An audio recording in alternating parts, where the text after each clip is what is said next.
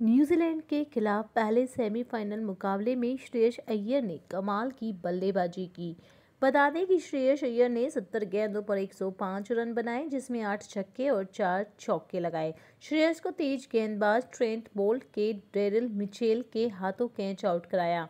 श्रेयस जब आउट होकर पवेलियन लौट रहे थे तो धनश्री वर्मा ने तालियाँ बजाकर उनकी इस पारी की तारीफ़ की।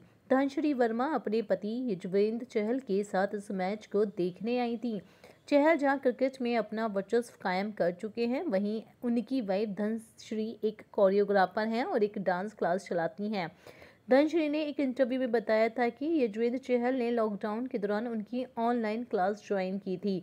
इसी दौरान दोनों के बीच नज़दीकियाँ बनी थी और वह रिलेशनशिप में आ गए थे। चहल धनश्री ने अगस्त 2020 में सगाई की थी और दिसंबर 2020 में शादी कर ली थी। युजवेंद्र चहल को वर्ल्ड कप के लिए टीम इंडिया में जगह नहीं मिली थी।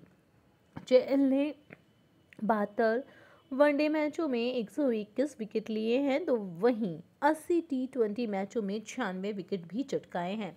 फ़िलहाल इस वीडियो में इतना ही। ऐसी ही तमाम जानकारियों के लिए हमारे चैनल एप्स मीडिया के साथ जुड़े रहें। चैनल को सब्सक्राइब करना और बेल आइकन पर क्लिक करना ना भूलें।